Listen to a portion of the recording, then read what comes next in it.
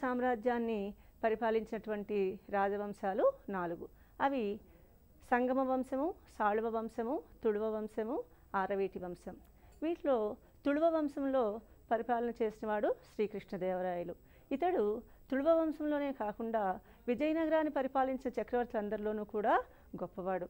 ఈయన గొప్ప యోధాగ్రేసరుడు అలాగే రాజనీతిజ్ఞుడు పరిపాలనాధ్యక్షుడు సాహితీ స్రష్ట ఈ రకంగా బహుముఖ ప్రజ్ఞాశాలి అయినటువంటి శ్రీకృష్ణదేవరాయలు విజయనగర సామ్రాజ్యాన్ని క్రీస్తకం పదిహేను వందల తొమ్మిది నుంచి పదిహేను వందల ఇరవై తొమ్మిది వరకు పరిపాలన చేశాడు. శ్రీకృష్ణదేవరాయల తండ్రి తుళువ నరసనాయకుడు తల్లి నాగాంబ. ఈయన చిన్నతనం నుండి కూడా సాళువ తిమ్మరుసు వద్ద సకల విద్యలయందు కూడా శిక్షణని పొందాడు. శ్రీకృష్ణదేవరాయల యొక్క రూపాన్ని మనకి పోర్చుగీస్ చరిత్రకారుడు డామింగో పేస్ చాలా వివరంగా రాయడం జరిగింది. శ్రీకృష్ణదేవరాయల గురించి పేస్ మాటల్లోనే చెప్పాలంటే అతడు అంత పొడిగరి కాదు అంత పొట్టి కాదు.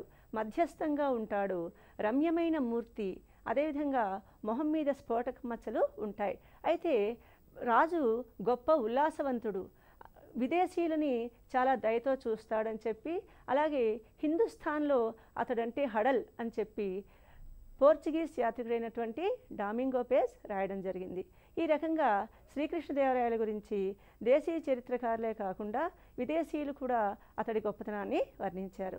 తన అన్న వీర నరసింహుని మరణానంతరం క్రీస్తకం పదిహేను వందల తొమ్మిదిలో శ్రీకృష్ణదేవరాయలు విజయనగర సింహాసనాన్ని అధిష్ఠించాడు.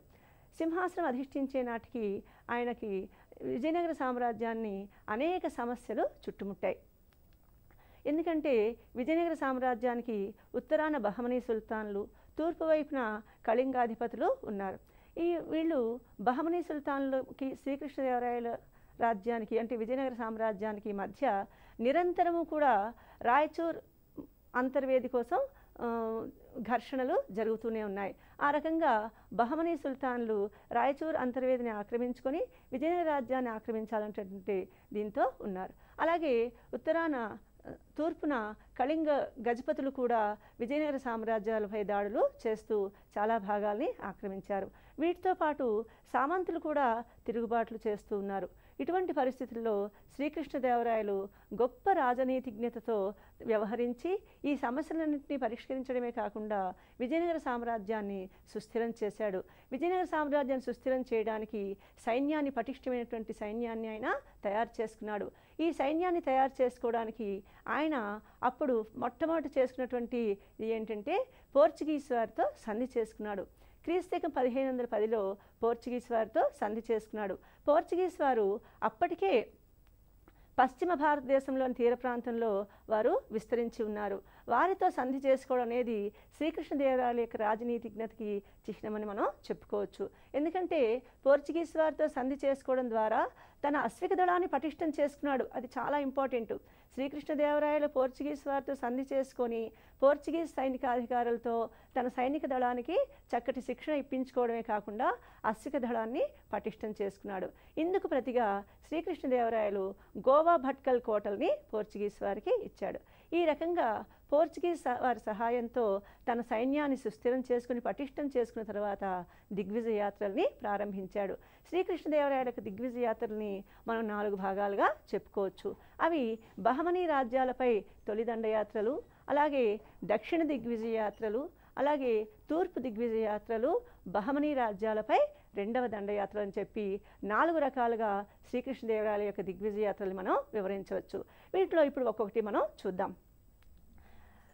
శ్రీకృష్ణదేవరాయల కాలం నాటికి బహమనీ రాజ్యాలు అంటే విజయనగర సామ్రాజ్యానికి ఉత్తరాన ఉన్నటువంటి బహమనీ రాజ్యాలు ఐదు స్వతంత్ర రాజ్యాలుగా విడిపోయాయి. అయినప్పటికీ కూడా ఆ బహమనీ రాజ్యాలు తమలో తాము కలహించుకోవడమే కాకుండా తరచుగా విజయనగర సామ్రాజ్యం పైన దాడి చేస్తున్నాయి.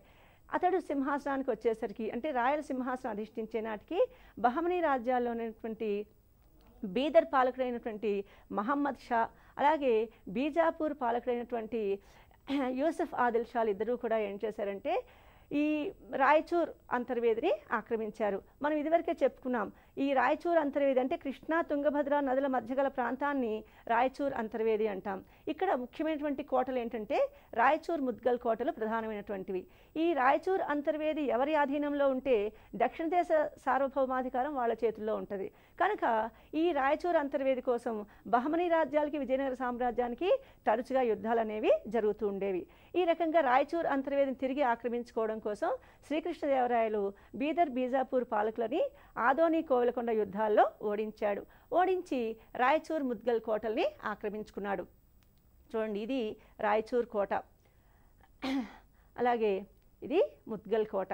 ఈ రాయచూర్ ముద్గల్ కోటలు చాలా ప్రధాన పాత్ర పోషించాయన్నమాట ఆ బహమని విజయనగర సామ్రాజ్యాల సరిహద్దులో ఉన్నటువంటి ఈ ప్రాంతం.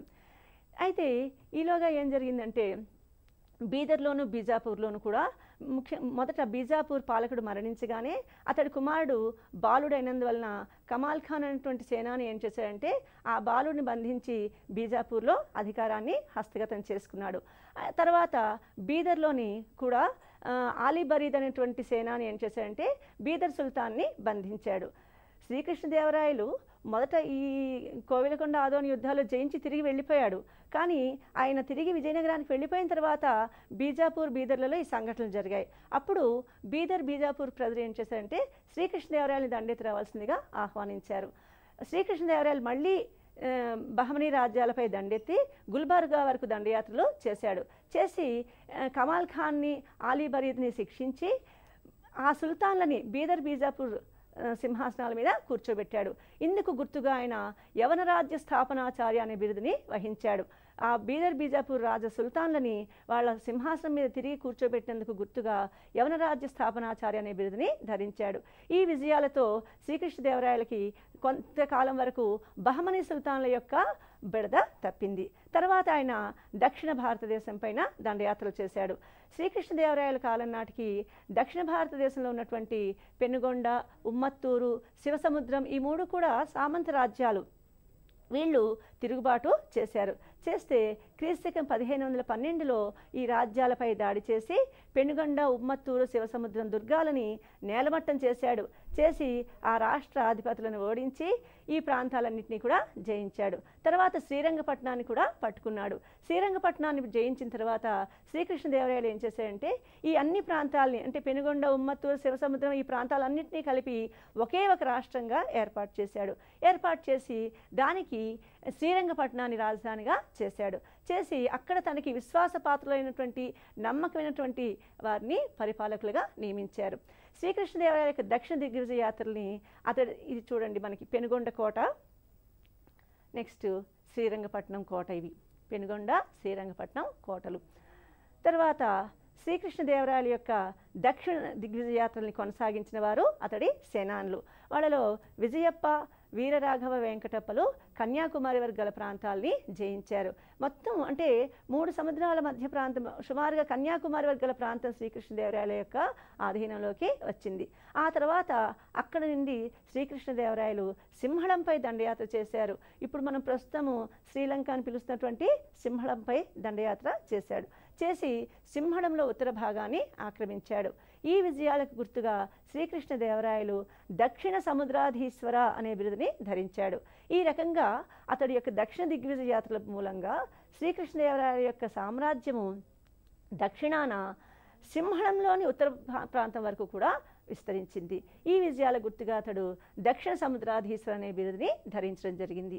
తర్వాత దక్షిణ దిగ్విజయాత్రల తర్వాత శ్రీకృష్ణదేవరాయలు తూర్పు దిగ్విజయాత్రల్ని ప్రారంభించాడు. తూర్పున కటక్ని ఏలేటటువంటి కళింగాధిపతులైనటువంటి ప్రతాపరుద్ర గజపతి వారి యొక్క సేనానులు వారి యొక్క సామంతులు తూర్పు ప్రాంతంలో శ్రీకృష్ణదేవరాయల్ని ఎదిరించారు. శ్రీకృష్ణదేవరాయల యొక్క తూర్పు దిగ్విజయాత్ర పదిహేను వందల పదమూడులో ఉదయగిరి ఆక్రమణతో ప్రారంభమైంది. ఆయన ఉదయగిరిని ఆక్రమించిన తర్వాత గజపతులకి చాలా ప్రధానమైనటువంటి కోటలైనటువంటి కొండవీడు కొండపల్లిని కూడా ఆక్రమించాడు.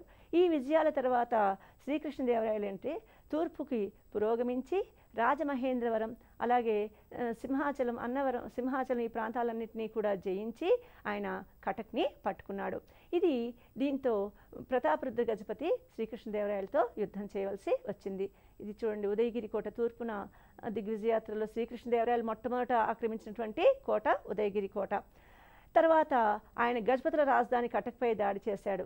చేస్తే గజపతిల రాజు అయినటువంటి ప్రతాపరుద్ర గజపతి ఓడిపోయి శ్రీకృష్ణదేవరాయలతో సంధి చేసుకున్నాడు. సంధి చేసుకుని తన కుమార్తె అయినటువంటి అన్నపూర్ణాదేవిని ఇచ్చి శ్రీకృష్ణదేవరాయలకి ఇచ్చి వివాహం చేశాడు. శ్రీకృష్ణదేవరాయలు ఇందుకు బదులుగా కృష్ణానదికి ఉత్తరాన తాను జయించినటువంటి ప్రాంతాలని గజపతులకి ఇచ్చివేశాడు. ఈ విధంగా శ్రీకృష్ణదేవరాయల యొక్క తూర్పు దండయాత్ర అనేది చాలా అంటే ఒక వైవాహిక సంబంధం ద్వారా అంటే అన్నపూర్ణాదేవిని వివాహం చేసుకోవడం ద్వారా మనకి అక్కడ అది ముగిసింది. అయితే ఇక్కడ మనం ఒక విషయాన్ని గమనించాలి. ఈ వైవాహిక సంబంధాలు అనేవి అప్పటి యొక్క ఆ స్త్రీల యొక్క మనోభావాలతో సంబంధం లేకుండా జరుగుతూ ఉండేవి. ఇది మనం గ్రహించవలసినటువంటి అవసరం ఉంది. తన వి తూర్పు దిగ్విజయాత్రల గుర్తుగా సింహాచలం పొట్నూరుల వద్ద విజయ స్తంభాల్ని నాటించాడు. సింహాచలము అదే అదేవిధంగా నెక్స్ట్ పొట్నూరు. అయితే ఈ విజయస్తంభాలు శ్రీకృష్ణదేవరాయలు స్థాపించినవి లేదా శ్రీకృష్ణదేవరాయలు నాటించినవిగా నాటించబడినవిగా చెప్పబడుతూ ఉన్నాయి ఇప్పటి వరకు కూడా. వీటిని మన పురావస్తు శాఖ వారు టూరిజం వారు వీటిని భద్రపరచడం జరిగింది. తర్వాత శ్రీకృష్ణదేవరాయలు తూర్పు దిగ్విజయాత్రలో నిమగ్నమై ఉన్నప్పుడు బహమనీ సుల్తాన్ అయినటువంటి బీజాపూర్ సుల్తాన్ అయినటువంటి ఇస్మాయిల్ ఆదిల్ షా మళ్ళీ రాయచూర్ అంతర్వేదిపై దాడి చేసి రాయచూర్ ముద్గల్ కోటల్ని తిరిగి ఆక్రమించాడు. శ్రీకృష్ణదేవరాయలు తూర్పు దిగ్విజయాతలను తి- తిరిగి వచ్చిన తర్వాత మళ్ళీ రెండవసారి బహమనీ రాజ్యాలపై దండయాత్ర చేశాడు. ఈ బహమనీ రాజ్యాలపై దండయాత్ర చేయడంతో శ్రీకృష్ణదేవరాయలు ఏంటంటే రాయచూర్ యుద్ధంలో ఇస్మాయిల్ ఆదిల్ షాని ఓడించి బీజాపూర్ వర్గల ప్రాంతాల్ని ఆక్రమించాడు. మళ్ళీ రెండోసారి పదిహేను వందల ఇరవై మూడులో శ్రీకృష్ణదేవరాయలు బీజాపూర్పై దాడి చేశాడు. బీజాపూర్పై దాడి చేయడంతో ఈసారి సాగర్ వరకు కూడా గుల్బర్గా సాగర్ల వరకు దాడి చేసి ఆ ప్రాంతాలన్నింటినీ కొల్లగొట్టాడు. ఈ రకంగా బహమనీ రాజ్యాలపై రెండవ దండయాత్ర చేసి శ్రీకృష్ణదేవరాయలు విజయనగర సామ్రాజ్యానికి బహమనీ రాజుల బహమనీ సుల్తాన్ల యొక్క బెడదని తప్పించాడు. తర్వాత ఇతడి సామ్రాజ్యం ఈ విజయాలతో అంటే నాలుగు దిగ్విజయాత్రలు చేశాడని మనం చెప్పుకున్నాం కదా ఆ నాలుగు దిగ్విజయాత్రల ఫలితంగా శ్రీకృష్ణదేవరాయల యొక్క సామ్రాజ్యము తూర్పున కటక్ నుంచి పశ్చిమాన సాల్శెట్టి వరకు అదేవిధంగా ఉత్తరాన గుల్బర్గా నుంచి దక్షిణాన సింహంలో సింహడంలోని ఉత్తర ప్రాంతం వరకు విస్తరించింది.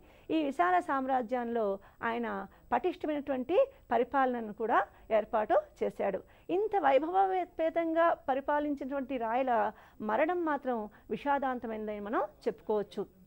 ఏ రకంగా అంటే శ్రీకృష్ణదేవరాయలకి ఏకైక కుమారుడు తిరుమల రాయలు శ్రీకృష్ణదేవరాయలు పదిహేను వందల ఇరవై ఆరులో తిరుమల రాయలకి యువరాజుగా పట్టాభిషేకం చేశాడు. చేసి తన వారసుడిగా ప్రకటించాడు. అయితే అనుకోని పరిస్థితిలో బాలుడైనటువంటి తి- తిరుమల రాయలు మరణించడం జరిగింది. ఈ మరణానికి కారణం తిమ్మరుసు అని చెప్పి శ్రీకృష్ణదేవరాయలు భావించాడు. అసలు తిమ్మరుసుని అతడు అప్పాజీ అని చెప్పి తండ్రితో సమానంగా చూసుకున్నాడు.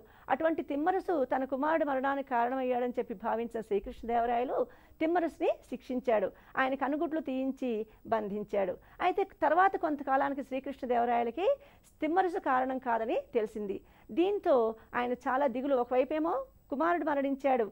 యువరాజు మరణించాడు. మరొక వైపు తనకి తండ్రి సమానమైనటువంటి అప్పాజీని అని పిలుచుకున్నటువంటి తిమ్మరుసుని శిక్షించాడు. ఈ దిగులుతోనే శ్రీకృష్ణదేవరాయలు పదిహేను వందల ఇరవై తొమ్మిదిలో మరణించడం జరిగింది.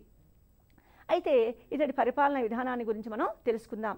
శ్రీకృష్ణదేవరాయల యొక్క పరిపాలనా విధానం తెలుసుకోవడానికి మనకు అనేకమైనటువంటి వాంగ్మయ శాసన ఆధారాలు లభిస్తున్నాయి. ముఖ్యంగా శ్రీకృష్ణదేవరాయలు అల్ ఆముక్తమాల్యదలో ఈ అంశాలని చాలా చక్కగా వర్ణించడం జరిగింది. ముఖ్యంగా ఆముక్తమాల్యద అవసరమైన దగ్గరల్లా కూడా శ్రీకృష్ణదేవరాయలు ఒక రాజు ఎట్లా పరిపాలన చేయాలి రాజు పరిపాలన చేసేటప్పుడు ఎటువంటి విషయాలను దృష్టిలో పెట్టుకోవాలనేటువంటి అంశాలని ఆయన చెప్పడం జరిగింది. ప్రభువు ధర్మనిష్టాగరిష్ఠుడై పరిపాలన చేయాలి అని చెప్పాడు శ్రీకృష్ణదేవరాయలు.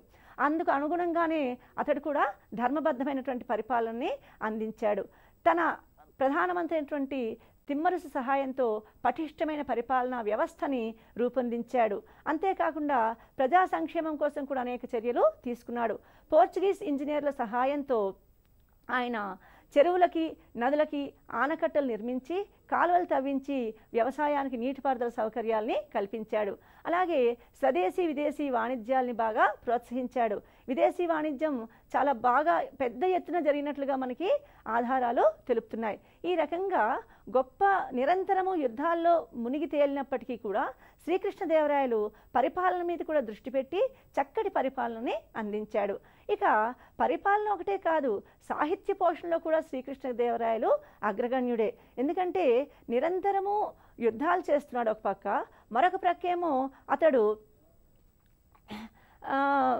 పరిపాలన మీద దృష్టి పెట్టాడు. అదేవిధంగా సాహిత్యం పోషణలో కూడా ఆయన దృష్టి పెట్టాడు. శ్రీకృష్ణదేవరాయ యొక్క ఆస్థానాన్ని భువన విజయము అని పిలుస్తాం. ఈ భువన విజయంలో ప్రతి సంవత్సరము కూడా వసంత ఉత్సవాలు నిర్వహిస్తున్నట్లుగా మనకి తెలుసు అనేక ఆధారాలు మనకి తెలుపుతున్నాయి. ఇతడి ఆస్థానంలో అష్టదిగ్గజాలు అనేటటువంటి ఎనిమిది మంది కవులు ఉన్నారని ప్రతీతి. అయితే చారిత్రక ఆధారాల ప్రకారం చరిత్రకారుల అభిప్రాయం ప్రకారము ఈ అష్టదిగ్గజాలందరూ కూడా అష్టదిగ్గజాలుగా పేర్కొంటున్నటువంటి కవులందరూ కూడా శ్రీకృష్ణదేవరాయల కాలం వారు కాదు వారు వేరు వేరు కాలాలకు చెందినవారు అని చెప్పి చరిత్రకారుల యొక్క అభిప్రాయం. ఏది ఏమైనప్పటికీ కూడా ఆయన అనేక మంది కవి పండితులని పోషించాడు. అతడు సంస్కృత ఆంధ్ర కన్నడ సారస్వతాలకి గొప్ప సేవ చేశాడు. ఈ ఇతడు సాహిత్యంలో ఇతడు చేసేటువంటి సేవకు గాను సాహితీ సమరాంగణ సార్వభౌమ అనే బిరుదుని ధరించాడు. సాహితీ సమరాంగణ సార్వభౌముడు. అంటే సాహిత్యం అనేటువంటి సమరాంగణ సమరంలో కూడా అతడు సార్వభౌముడు అని చెప్పి పిలువబడ్డాడు. ఇతడు అనేక మంది కవి పండితులను పోషించడము సారస్వతాన్ని పోషించడమే కాకుండా శ్రీకృష్ణదేవరాయలు కూడా స్వయంగా కవి. ఆయన సంస్కృతంలోనూ తెలుగులోనూ కూడా అనేక రచనలు చేశాడు. శ్రీకృష్ణదేవరాయలు సంస్కృతంలో రచించినటువంటి రచనల్లో ముఖ్యమైనవి ఏంటంటే జాంబవతి పరిణయము మదాలస చరిత్ర సత్యవధు పరిణయము సకల కథాసార సంగ్రహం అనేటువంటి కావ్యాల్ని సంస్కృత భాషలో రాశాడు. తర్వాత శ్రీకృష్ణదేవరాయలు తెలుగు భాషకి అనేక సేవల్ని అందించాడు. అతడు కన్నడిగుడైన కన్నడిగుడైనప్పటికీ కూడా తెలుగు భాషా సాహిత్యాలకి అనేక సేవల్ని అందించాడు. దేశ భాషలందు తెలుగు లెస్స అనేటటువంటి నానుడిని ప్రాచుర్యంలోకి తెచ్చినవాడు శ్రీకృష్ణదేవరాయలు. ఇతడు తెలుగులో ఆముక్తమాలేదైనటువంటి కావ్యాన్ని రాశాడు. అంతేకాకుండా అనేక మంది తెలుగు కవి పండితులను పోషించడం వలన ఆంధ్రభోజుడైనటువంటి బిరుదుని ధరించాడు. తెలుగు భాషకి ఆయన చేసినటువంటి సేవకి గుర్తుగా ఆయన ఆయనకి ఆంధ్రభోజుడు అనే బిరుదు లభించింది. శ్రీకృష్ణదేవరాయల ఆస్థానంలో ఉన్నటువంటి తెలుగు కవుల్లో ప్రధానమైన వాళ్ళు స్వారోచిష మనుసంభవాన్ని రచించినటువంటి అల్లసాని పెద్దన. అలాగే రాజశేఖర చరిత్రను రచించినటువంటి మాదయ్య గారి మల్లన. అలాగే పారిజాతాపహరణం రచించినటువంటి నంది తిమ్మన. కాళహస్తీశ్వర మహత్యం రచించినటువంటి ధూర్జటి వీరు ప్రధానంగా శ్రీకృష్ణదేవరాయల ఆస్థానంలోటువంటి ఉన్నటువంటి తెలుగు కవులు. వీరిలో అల్లసాని పెద్దన ఆయన ఆస్థాన కవిగా కూడా ఉన్నాడు. సంగీత సాహిత్య నృత్యాల్లో కూడా శ్రీకృష్ణదేవరాయలు అనేక సేవల్ని అందించి వాటిని కూడా పోషించినట్లుగా మనకి అనేక ఆధారాలు వాంగ్మయ ఆధారాలు తర్వాత పురావస్తు ఆధారాలు కూడా మనకి తెలుపుతున్నాయి. లక్ష్మీనారాయణ కవి ఇతడి ఆస్థానంలోనే ఉండేవాడు. ఆయన సంగీతాన్ని గురించి సంగీత సూర్యోదయంటువంటి కావ్యాన్ని రచించి దాన్ని రాయలకి అంకితమిచ్చాడు. తర్వాత శ్రీకృష్ణదేవరాయలు నృత్యాన్ని కూడా అనేక సేవల్ని నృత్యాన్ని కూడా పోషించి దానికి కూడా అనేక సేవల్ని అందించాడు. తర్వాత భవన నిర్మాణం. శ్రీకృష్ణదేవరాయలు కూడా అనేక వాస్తు నిర్మాణాలని చేపట్టాడు. వాటిలో ముఖ్యమైనటువంటివి కృష్ణాలయము హజారా రామాలయం. హంపీలోని హంపీ విజయనగరంలో నిర్మించినటువంటి కృష్ణాలయం హజార్ రామాలయాలు శ్రీకృష్ణదేవరాయల యొక్క వాస్తు శిల్పకళకి పోషణకి నిదర్శనం. కృష్ణాలయాన్ని అతడు ఉదయగిరి ఆక్రమణలో అతడి యొక్క విజయాలకి గుర్తుగా దాన్ని నిర్మించాడు. అదేవిధంగా హజార రామాలయం కూడా హంపీ విజయంలో అతడు నిర్మించినటువంటి నిర్మాణంలో ప్రధానమైనటువంటిది. తర్వాత తిరుపతి కంచి కాళహస్తి సింహాచలం అహోబిలం వంటి దేవాలయాలను సందర్శించి ఆ దేవాలయాలకి గోపురాల్ని మంటపాల్ని సమర్పించ మంటపాల్ని నిర్మించాడు. అంతేకాకుండా ఆ దేవాలయాలకి అనేక కానుకల్ని అందించాడు. ఇవి మనకి శాసన ఆధారాల ద్వారా మనకి ఈ విషయాలన్నీ కూడా తెలుస్తున్నాయి. శాసన వాంగ్మయ ఆధారాల ద్వారా ఈ విషయాలన్నీ మనకి తెలుస్తున్నాయి. తర్వాత ఇతడు దే వాస్తు నిర్మాణాలతో పాటు ఏకశిలా విగ్రహాలని కూడా నిర్మించాడు. ఇతడు నిర్మించిన వే- ఏకశిలా విగ్రహాల్లో నరసింహస్వామి విగ్రహము అదేవిధంగా గణేశుడి విగ్రహము తర్వాత ఇతడి యొక్క హనుమంతుడి విగ్రహం. ఈ మూడు కూడా ఏకశిలా విగ్రహాల్లో చాలా ప్రధానమైనటువంటి. వీటి యొక్క శిల్పకళా చాతుర్యము గొప్ప ప్రఖ్యాతిని పొందింది. దేశీయులే కాకుండా విదేశీయులు కూడా ఈ శిల్పకళా చాతుర్యాన్ని పొగిడినట్టుగా మనకి తెలుస్తుంది. తర్వాత శ్రీకృష్ణదేవరాయలు వైష్ణవ మతాభిమాని. అతడు హిందువులో హిందూ మతంలో వైష్ణవ మతాన్ని అభిమానించాడు.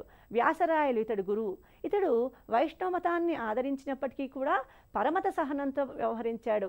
హిందువుల్లోని వైష్ణవ శైవ శాఖలనే కాకుండా ముస్లింలను కూడా ఆదరించినట్లుగా మనకి తెలుస్తుంది. ఇక శ్రీకృష్ణదేవరాయల యొక్క ఘనత చూసినట్లయితే మనం ఇప్పటివరకు చూసినటువంటి అతడి యొక్క విశేషాల్ని మనం చూస్తే గొప్ప యోధాగ్రేసుడు బహమనీ సుల్తాన్లని గజపతులని ఓడించి సామ్రాజ్యంలో ఉన్నటువంటి అన్ని తిరుగుబాట్లను అణిచి శాంతి భద్రతల్ని నెలకొల్పాడు. అదేవిధంగా గొప్ప పరిపాలన అంది అందించాడు. రాజనీతిజ్ఞుడు సాహితీ శ్రేష్ట భవన నిర్మాత. ఇతడు సాహసి బహుముఖ ప్రజ్ఞాశాలి అని చెప్పి పేస్ డామింగో పేస్ రాశాడు. ఈ రకంగా దక్షిణ భారతదేశ చరిత్రలోనే ఒక గొప్ప చక్రవర్తిగా శ్రీకృష్ణదేవరాయలు పేరు పొందాడు.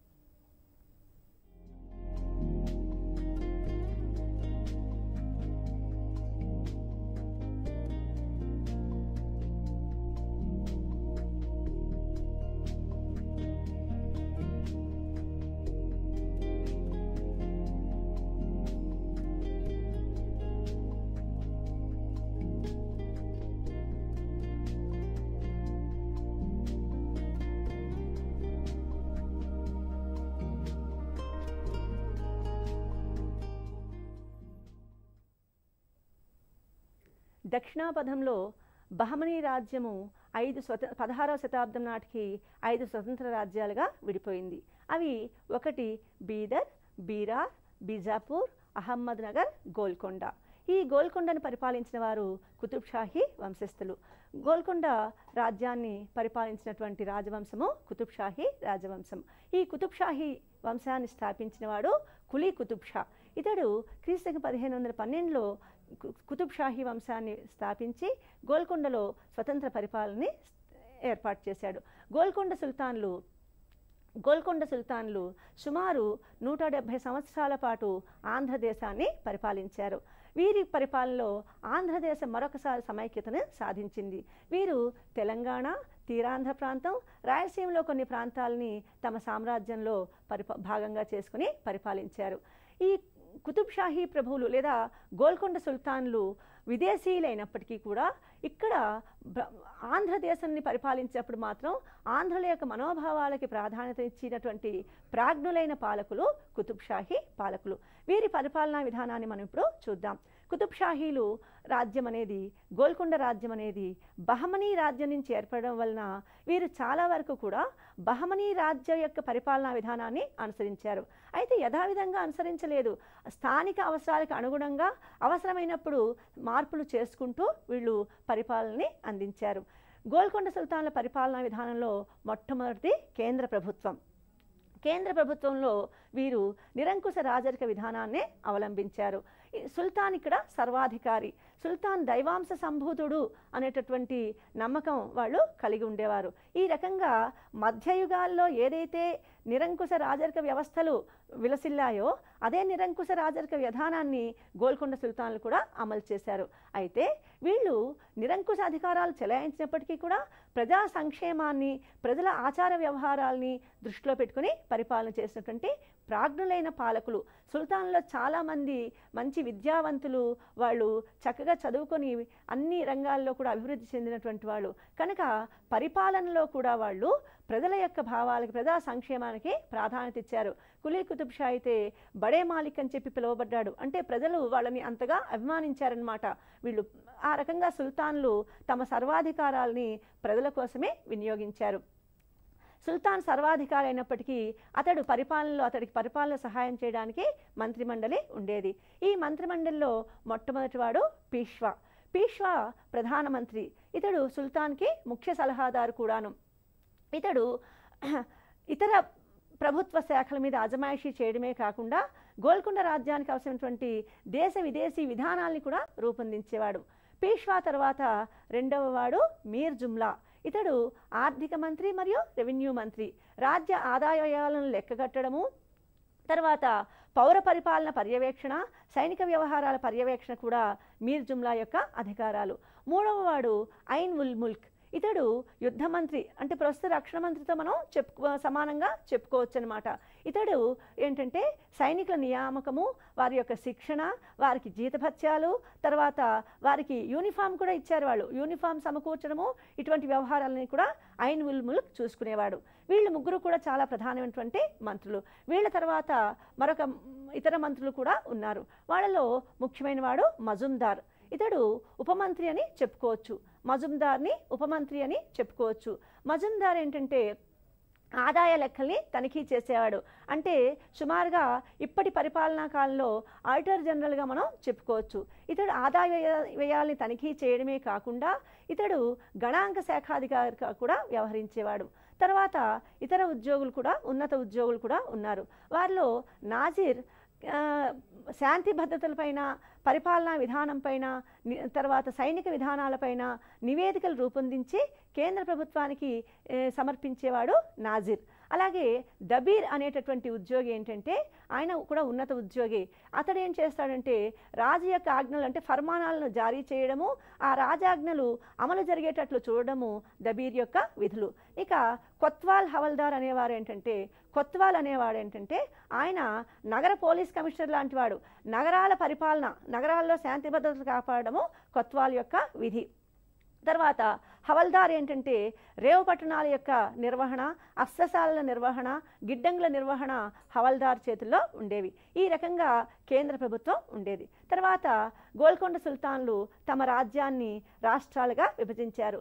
ఈ రాష్ట్రాలని తరఫ్లు అని పిలిచారు. గోల్కొండ రాజ్యంలో ఆరు తరఫ్లు ఉన్నట్లుగా మనకి తెలుస్తుంది. ఈ ఆరు తరఫ్లలో కూడా రేవు పట్టణాలతో కూడినటువంటి కర్ణాటక తరఫ్కి అధిక ప్రాధాన్యత ఉండేది. తరఫ్కి పాలకుడు తరఫ్దార్ లేదా సర్ లష్కర్ అనే అతడిని తరఫ్దార్గా నియమించేవారు. తర్వాత ఈ తరఫ్దార్కి పరిపాలన సహాయం చేయడానికి దివాన్ ఖాజీ పండిట్ అనేటటువంటి ఉద్యోగులు ఉండేవారు. వీరందరినీ కూడా కేంద్ర ప్రభుత్వమే నియమిస్తుంది. దివాన్కి యొక్క ముఖ్యమైన విధి ఏంటంటే కాంట్రాక్టర్ల దగ్గర నుంచి భూమి శిస్తును వసూలు చేసి కోశాగారానికి సమర్పించడము జమ చేయడము దివాన్ యొక్క విధి. ఖాజీ పండిట్లు ఏంటంటే న్యాయ నిర్వహణ అధికారాలు. తర్వాత గోల్కొండ సుల్తాన్లు తరఫ్లని సర్కారులుగా విభజించారు. ప్రాంతీయ పాలనలో ప్రధానమైనటువంటి సర్కార్లు. సర్కార్కి అధికారి ఫౌజ్దార్. ఇతడు సర్కార్లో శాంతి భద్రతని పరిరక్షించడము ఇతడి యొక్క ప్రధానమైనటువంటి విధి. తర్వాత హవల్దార్ హవల్దార్ శాంతి భద్రతల పరిరక్షణలో ఫౌజ్దార్కి సహాయం చేస్తాడు. అదేవిధంగా సర్కార్లో ఖాజీ పండిట్లు న్యాయ నిర్వహణ అధికారులు. నెక్స్ట్ సర్కార్లని సమత్ లేదా పరగణాలుగా విభజించారు. వీటిని తాలూకాలను కూడా పిలవడం జరిగింది. వీటికి అధికారి ఫౌజ్దార్ హవల్దార్ ఖాజీ పండిట్లు. తర్వాత గ్రామ పరిపాలన అనేది గ్రామ ప్ర- పంచాయతీలు నిర్వహించేవి. తర్వాత గ్రామంలో ముకద్దం పట్వారి అనేటువంటి ఉద్యోగులు కూడా మనకి అక్కడక్కడ కనిపిస్తారు. ఇక కేంద్ర ప్రభుత్వం మొత్తం ప్రభుత్వ ఉద్యోగులందరికీ కూడా కేంద్ర ప్రభుత్వం వేతనాలు ఇచ్చేది. దీని ద్వారా మొత్తం ప్రభుత్వ యంత్రాంగం అంతా కూడా కేంద్ర ప్రభుత్వం చేతుల్లో ఉంది. ఇది కేంద్రీకృతమైనటువంటి పరిపాలనా వ్యవస్థ అని మనం చెప్పుకోవచ్చు. మంత్రులు ఇతర ఉన్నత ఉన్నతాధికారులు తరచుగా రాజ్యమంతటా పర్యటనలు చేస్తూ పరిపాలనని పర్యవేక్షణ చేసేవారు. ఈ రకంగా గోల్కొండ సుల్తాన్లు పరిపాలన పట్ల గొప్ప శ్రద్ధ వహించారని మనం చెప్పుకోవచ్చు. వీరి పరిపాలనలో తర్వాత అంశం ఏంటంటే రెవెన్యూ విధానం. ఏంటంటే ఆ రోజుల్లో ప్రజల ముఖ్య వృత్తి వ్యవసాయం కనుక భూమి శిస్తే ప్రభుత్వానికి ప్రధానమైనటువంటి ఆదాయం. ఈ భూమి శిస్తుని వేలం పద్ధతి ద్వారా గోల్కొండ సుల్తాన్లు వసూలు చేసేవాడు. అంటే ప్రతి సంవత్సరము శిస్తుని వేలం వేసేవారు. ఎవరైతే అధిక మొత్తం చెల్లించడానికి సిద్ధపడ్డారో వాళ్ళకి శిస్తు వసూలు చేసే అధికారాన్ని ఇచ్చేవారు. ఇలా శిస్తు వసూలు చేసే అధికారం పొందిన వారిని కాంట్రాక్టర్లు లేదా గుత్తేదారులు అని పిలిచారు. ఈ కాంట్రాక్టర్ లేదా గుత్తేదారులకి ఏంటంటే ఆ భూములపై ఏ భూమిపై అయితే వాళ్ళు వేలం పాడుకున్నారో ఆ భూమిపై సివిల్ క్రిమినల్ అధికారాలు కూడా లభించాయి. అయితే ఈ విధానంలో రైతులు అనేక ఇబ్బందులు పడ్డారు. ఎందుకంటే ఈ వేలం విధానంలో ప్ర ప్రభుత్వం ఏం చేసింది? ఒక గుత్తేదారు లేదా కాంట్రాక్టరు ప్రభుత్వానికి ఎంత చెల్లించాలో నిర్ణయించింది తప్ప అతడు రైతుల నుంచి ఎంత వసూలు చేయాలో నిర్ణయించలేదు. దీనివల్ల ఏమైంది?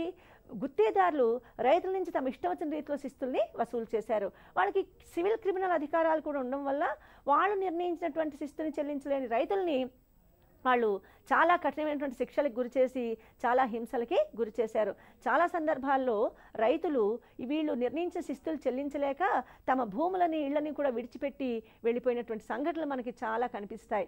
ఈ రకంగా వేలం ద్వారా కాంట్రాక్టర్ విధానం ద్వారా కాంట్రాక్టర్ల వ్యవస్థ ద్వారా శిస్తుల్ని వసూలు చేయడం వల్ల రైతులు మాత్రం అనేక బాధలు పడ్డారు. చివరి కుతుబ్షాహీల కాలంలో ఈ అంశాన్ని గుర్తించి కాంట్రాక్టర్ల వ్యవస్థను రద్దు చేసి వారు నేరుగా వారు నేరుగా ప్రభుత్వ ఉద్యోగుల ద్వారా శిస్తుల్ని వసూలు చేశారు. రేవపట్నాల్లో సుంకాలు కూడా వీరి యొక్క ప్రధానమైనటువంటి ఆదాయ మార్గం. అక్కడ కూడా కాంట్రాక్టర్ల వ్యవస్థ ద్వారానే శిస్తుని వసూలు చేయడం జరిగింది.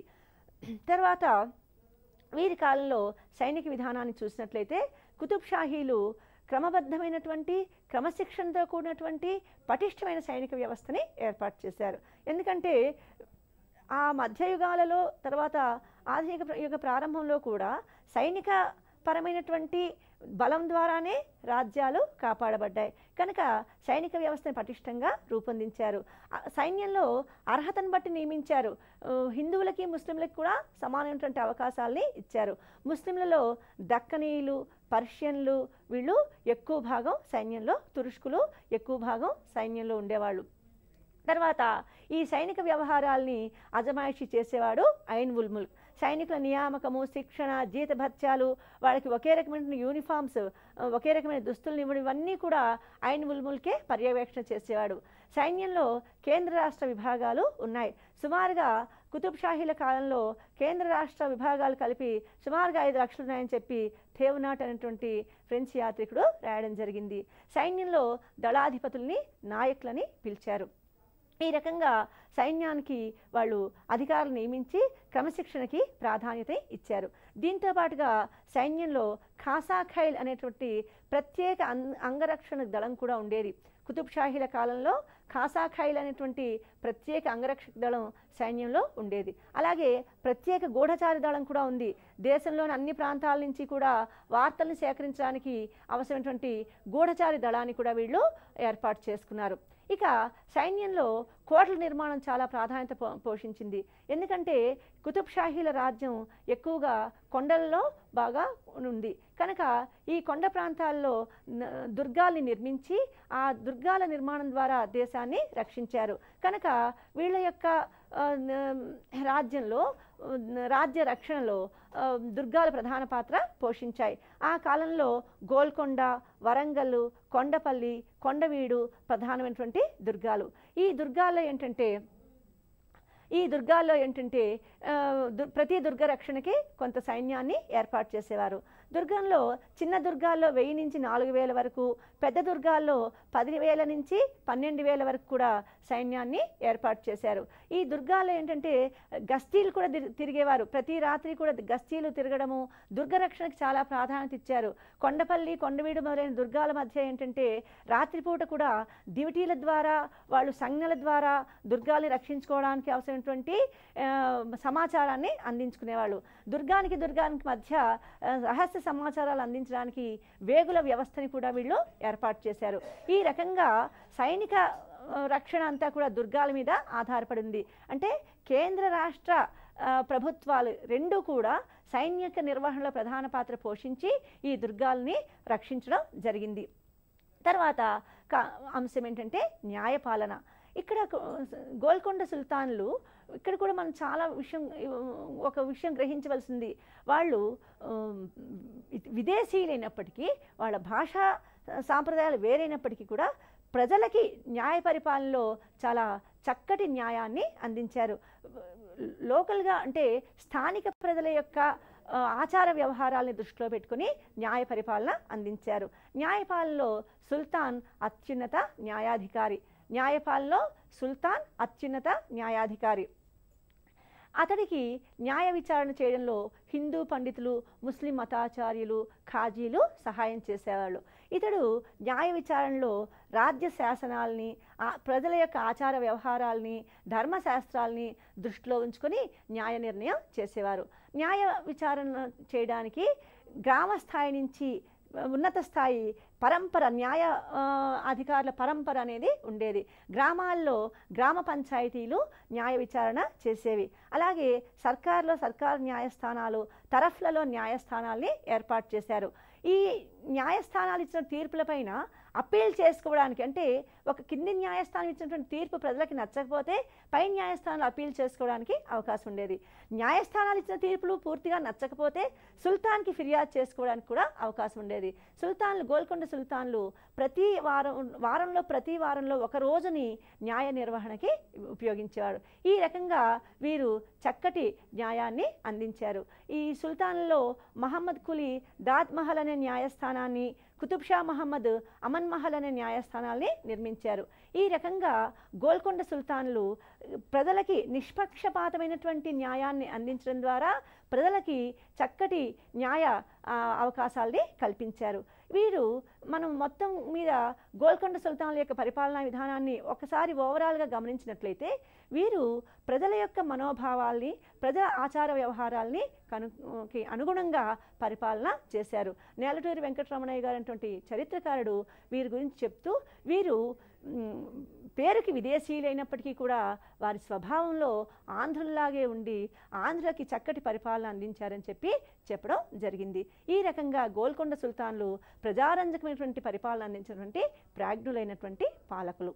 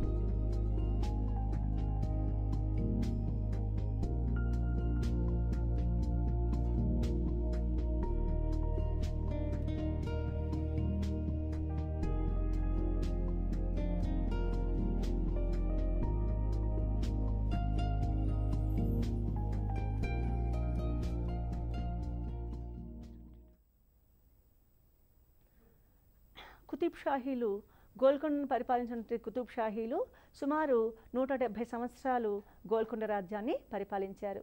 వీరి కాలంలో ఆంధ్రదేశం మరొకసారి సమైక్యతను పొందింది. కుతుబ్ షాహీల పరిపాలనా కాలం నాటి పరిస్థితులని తెలుసుకోవడానికి మనకు అనేకమైనటువంటి ఆధారాలు ఉన్నాయి. ఈ వీటిలో మనకి స్థానిక ఆధారాలు ముఖ్యమైనవి ఏంటంటే అద్దంకి గంగాధర కవి రచించినటువంటి తపతి సంవరణోపాఖ్యానం అలాగే పొన్నగంటి తెలగనార్యుడు రచించినటువంటి యయాతి చరిత్ర. ఇవన్నీ కూడా తెలుగు సాహిత్యం. అలాగే మట్ల అనంత భూపాల్ రచించినటువంటి కాకుత్స విజయము. అలాగే మల్లారెడ్డి రచించినటువంటి పద్మపురాణము షట్చక్రవర్తి చరిత్ర. ఇవన్నీ కూడా సమకాలీన సాహిత్యం. ఈ సమకాలీన సాహిత్యం ఏంటంటే వారి కాలం నాటి ఆర్థిక సాంఘిక మత పరిస్థితులు సాంస్కృతిక పరిస్థితులు తెలుసుకోవడానికి మనకి చక్కటి ఆధారాలుగా ఉపయోగపడుతున్నాయి. ఈ ఇవే కాకుండా వీరి యొక్క చరిత్రను తెలుసుకోవడానికి మనకి అనేక విదేశీ రచనలు అదేవిధంగా ఇస్లాం ముస్లిం రచనలు కూడా మనకి ఉపయోగపడుతున్నాయి. వీరి కాలం నాటి చరి పరిస్థితులను తెలుసుకోవడానికి మనకి టావెర్నియర్ థీవ్నాట్ వంటి విదేశీ యాత్రికుల రచనలు కూడా ఉపయోగపడుతున్నాయి. అలాగే ఫెరిస్టా కాఫీ ఖాన్ వంటి ముస్లిం చరిత్రకారుల రచనలు కూడా గోల్కొండ సుల్తాన్ల పరిపాలన గోల్కొండ సుల్తాన్ల కాలం నాటి పరిస్థితులు తెలుసుకోవడానికి ఉపయోగపడుతున్నాయి. ఈ గోల్కొండను పరిపాలించినటువంటి కుతుబ్ షాహీలు పరిపాలనలో చేసినప్పుడు వారు స్థానికుల యొక్క మనోభావాలకి ప్రాధాన్యత ఇవ్వడం వలన ఇక్కడ మనకి స్థానికులు వారిని తమ సొంత వారిగా భావించడం జరిగింది. ఆ రకంగా వారు ఆ గోల్కొండ సుల్తాన్లని ప్రజలు ఎంతో అభిమానంతో చూసుకున్నారు. ఆ కాలం నాటి పరిస్థితులను గురించి మనం ఇప్పుడు తెలుసుకుందాం. వాటిలో మొట్టమొదటి సాంఘిక పరిస్థితులు. కుతుబ్ షాహీల కాలం నాటి సమాజంలో చూసినట్లయితే సమాజంలో అప్పటికే ముస్లింలు స్థిరపడ్డారు. సమాజంలో హిందూ ముస్లింలు కూడా సమ సహజీవనం చేస్తూ వారు ఒక రకమైనటువంటి సామరస్యంతో జీవించారని మనం చెప్పుకోవచ్చు. మత కలహాలు కానీ మతపరమైనటువంటి విద్వేషాలు కానీ హిందూ సమాజం ముస్లిం సమాజాల మధ్య లేవు. హిందువుల్లో వర్ణ వ్యవస్థ ప్రధానంగా ఉంది. సాంప్రదాయబద్ధమైనటువంటి వర్ణ వ్యవస్థ హిందూ సమాజంలో కొనసాగింది. తర్వాత అయితే ముస్లింల రాక వలన వర్ణ వ్యవస్థలో అంత సుస్థిరత కనపడదు. కొంత సడలింపు వర్ణ వ్యవస్థ నియమాల్లో కొంత సడలింపు అనేది మనకి కనిపిస్తుంది. తర్వాత ప్రభుత్వ ఉద్యోగుల్లో ఈ హిందువుల్లో ప్రభుత్వ ఉద్యోగులు వర్తకులు కర్షకులు చేతి వృత్తుల వారు ఉన్నారు. బ్రాహ్మ మనకి వర్ణ వ్యవస్థతో పాటు వర్ణ వ్యవస్థలతో వర్ణ వ్యవస్థలో సడలింపుతో పాటు వర్ణ ధర్మాలలో మార్పు కూడా మనకి కనిపిస్తుంది. ఎందుకంటే బ్రాహ్మణులు ఇక్కడ ప్రభుత్వ ఉద్యోగాల్ని చేపట్టారు. అలాగే ఇతర కులాల వాళ్ళు కూడా వాళ్ళకు వర్ణధర్మానుసారం కాకుండా ఇతర వృత్తులను కూడా చేపట్టడం అనేది మనకి కనిపిస్తుంది.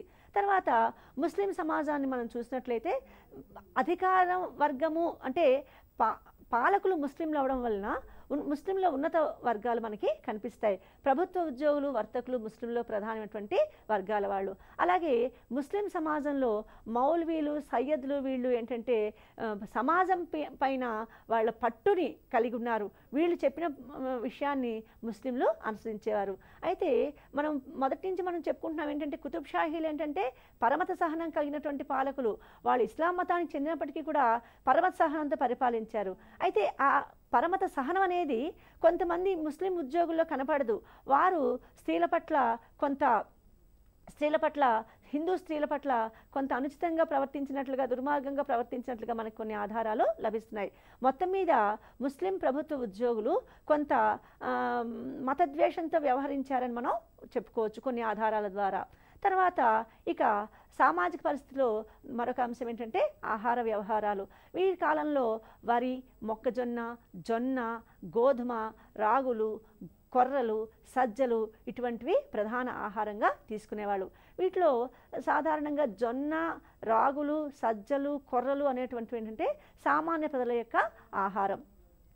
ఉన్నత వర్గాల వాళ్ళు తాంబూల సేవనం అనేది వాళ్ళ ఆహారంలో ఒక భాగంగా ఉండేది. ఉన్నత సంపన్న వర్గాల వారి ఆ- ఆహారంలో తాంబూల సేవనం ఒక ముఖ్యమైనటువంటి భాగంగా ఉన్నట్టుగా మనకి తెలుస్తుంది. తర్వాత ఇక వారి యొక్క దుస్తుల్ని ఆభరణాలని ఆ కాలం దుస్తుల్ని చూసినట్లయితే ఉన్నత వర్గాల వాళ్ళు చాలా ఆడంబరమైనటువంటి దుస్తులు ఆభరణాలు ధరించారు.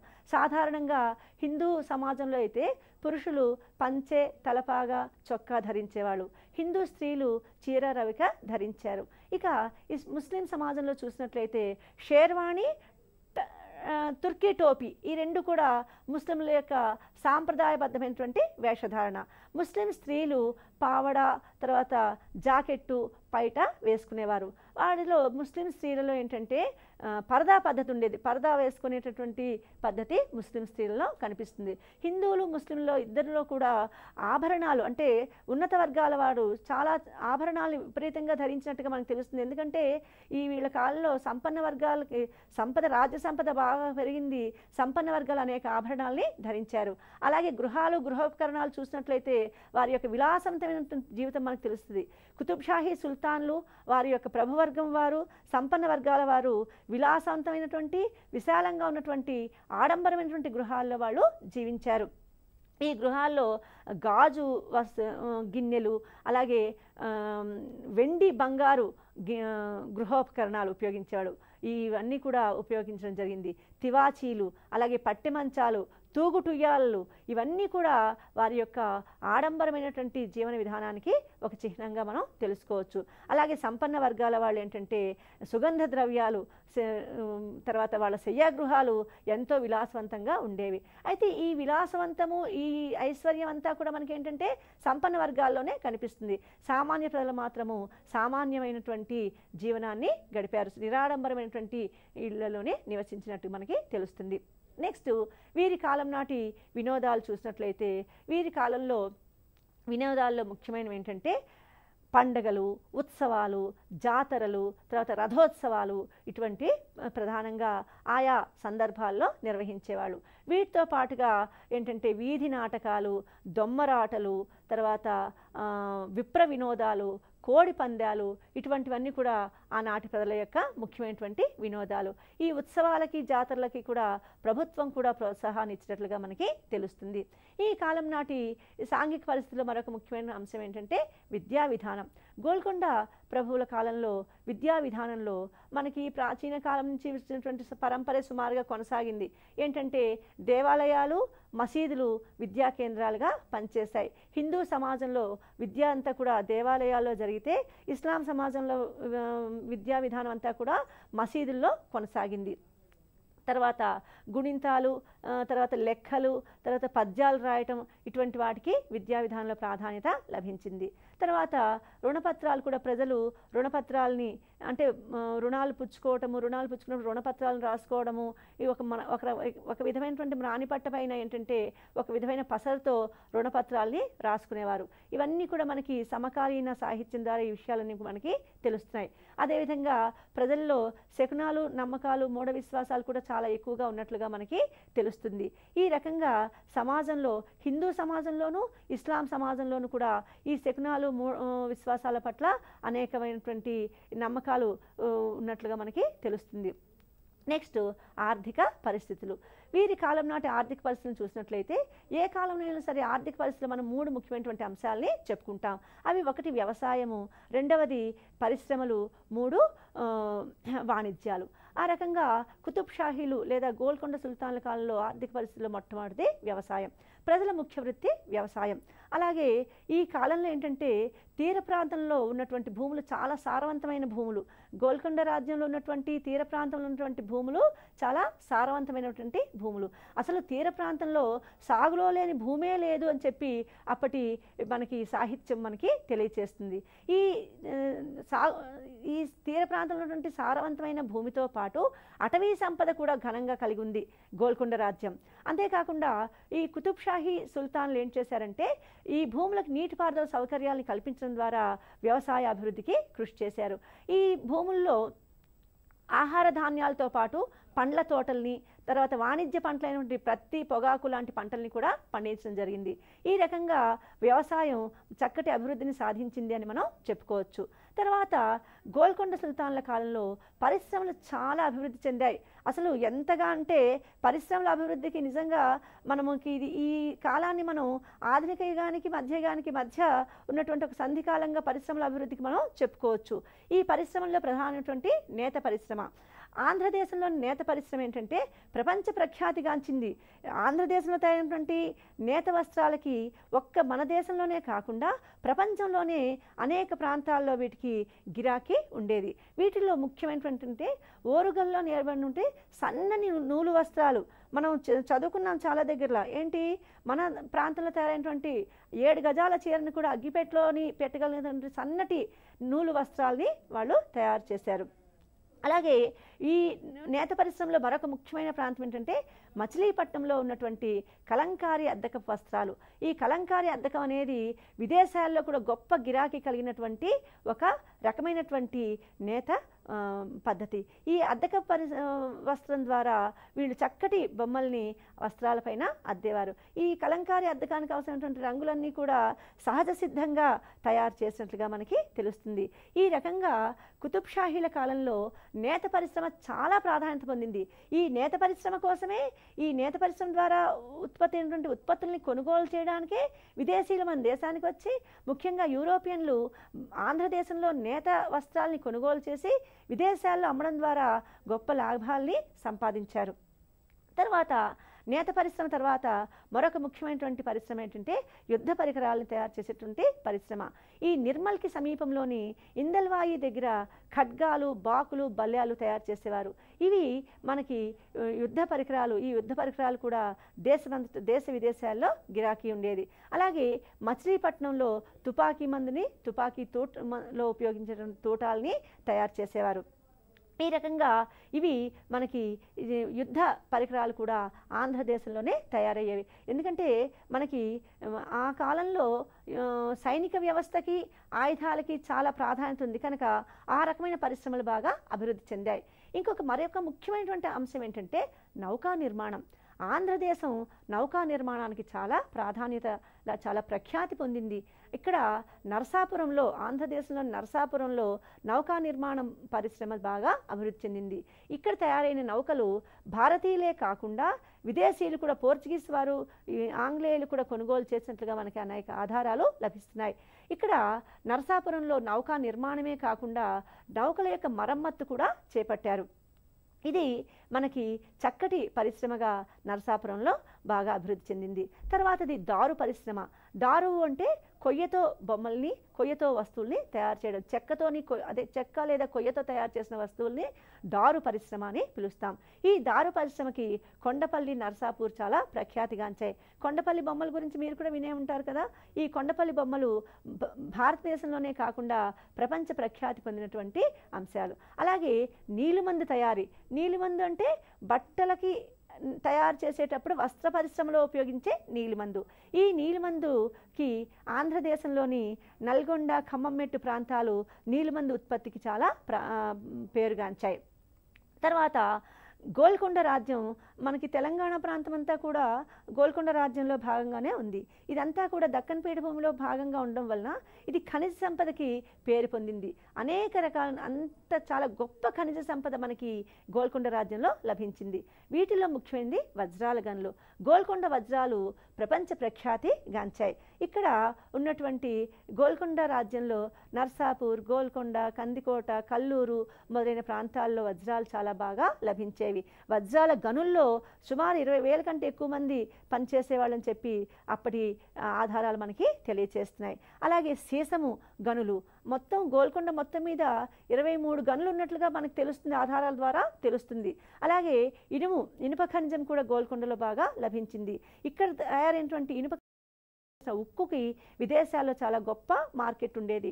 డమాస్కస్లో కత్తులు తయారు చేయడానికి గోల్కొండ ఇనుము ఉక్కుని ఉపయోగించారని చెప్పి మనకి తెలుస్తుంది. తర్వాత పరిశ్రమల తర్వాత ఆర్థిక పరిస్థితుల్లో పరిశ్రమల తర్వాత మరొక అంశము వర్తక వ్యాపారాలు. మనం ఇప్పటివరకు చూ చూసాం ఏంటంటే వ్యవసాయం చాలా బాగా అభివృద్ధి చెందింది పరిశ్రమలు బాగా అభివృద్ధి చెందాయి. ఆటోమేటిక్గా ఎప్పుడైతే వ్యవసాయ ఉత్పత్తుల్లో మిగులుందో పరిశ్రమలు గొప్పగా అభివృద్ధి చెందాయో వర్తక వ్యాపారాలు కూడా అభివృద్ధి చెందాయి ఆ రకంగా గోల్కొండ రాజ్యంలో స్వదేశీ విదేశీ వాణిజ్యం బాగా అభివృద్ధి చెందింది. విదేశీ వాణిజ్యం ముఖ్యంగా రేవపట్నాల ద్వారా జరిగేది. ఈ రేవపట్నాల్లో మచిలీపట్నం రేవపట్నం చాలా ప్రాధాన్యత పొందింది. అంటే పుల్లికాట్ మద్రాస్ రేవపట్నాలు కూడా ఉన్నాయి కానీ ప్రధానమైన రేవపట్నం మచిలీపట్నం రేవపట్నం.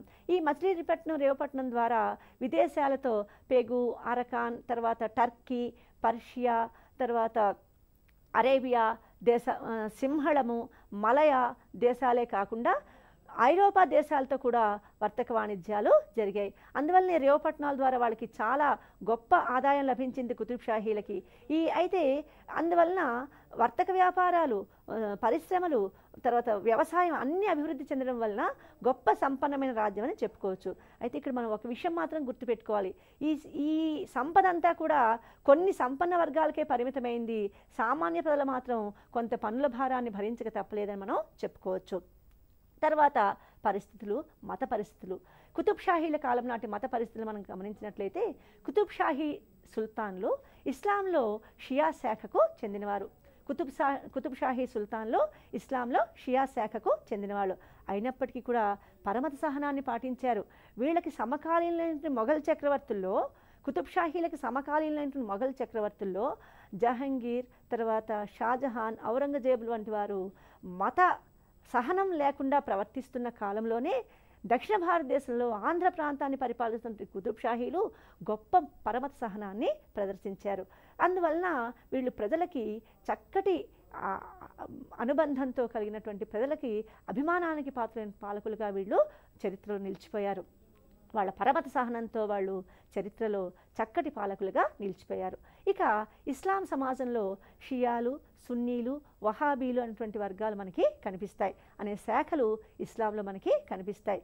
ప్రభువులు షియాకి చెందినప్పటి షియా వర్గానికి చెందినప్పటికీ ప్రజల్లో ఎక్కువ మంది సున్నీ శాఖకి చెందిన వాళ్ళు తర్వాత మనకి ఉన్న ముస్లింలలో ఆంధ్రదేశంలో కుతుబ్షాహీల కుతుబ్ షాహీల కాలంలో ఉన్నటువంటి ముస్లింలలో మూడు ప్రధానమైనటువంటి వర్గాలు ఉన్నాయి. ఒకటి ఏంటంటే విదేశాల నుంచి వచ్చే ఆంధ్రదేశంలో స్థిరపడినటువంటి విదేశీ ముస్లింలు.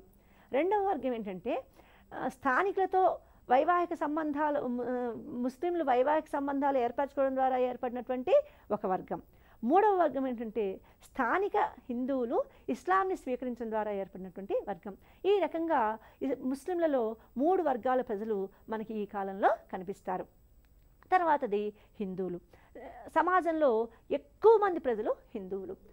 ఇంచుమించుగా తొంభై శాతం మంది ప్రజలు హిందువులు. ఈ హిందూ మతంలో శైవ వైష్ణవ సాంప్రదాయాలు మనకి ఉన్నాయి. శైవ సాంప్రదాయంలో ఏంటంటే భక్తి శైవులు శైవ సాంప్రదాయం వల్ల ఏంటంటే భక్తి ప్రచారంలోకి వచ్చి ప్రజల్లో భక్తి సిద్ధాంతం బాగా ప్రచారంలోకి వచ్చింది. ఈ శైవులు మఠాలని స్థాపించారు.